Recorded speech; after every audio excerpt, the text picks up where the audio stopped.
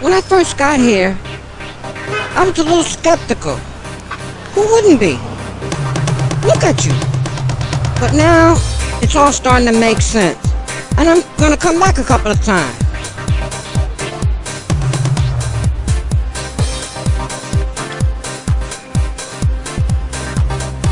Adult education. That sounds like the place you go to meet chicks. I'm going to night school, and I'm taking adult education. Alcoholism is a disease, but it's the only disease that you can get hollered at for. Damn it, Kenny, you're an alcoholic. Damn it, Kenny, you have cancer. One just doesn't sound right. My flashed